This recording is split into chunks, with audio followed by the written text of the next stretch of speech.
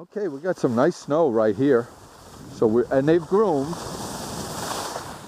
And you know, once again, you just gotta. I've got to just relax. Jimmy's got me working on precision rather than speed. Had a great time out in Utah. The Ski Haus militia took care of me even though I hugged a few trees out there. So Utah will be happy that the big man was there. He didn't hurt anything, but he did get up close and personal with a few of those trees. Very nice.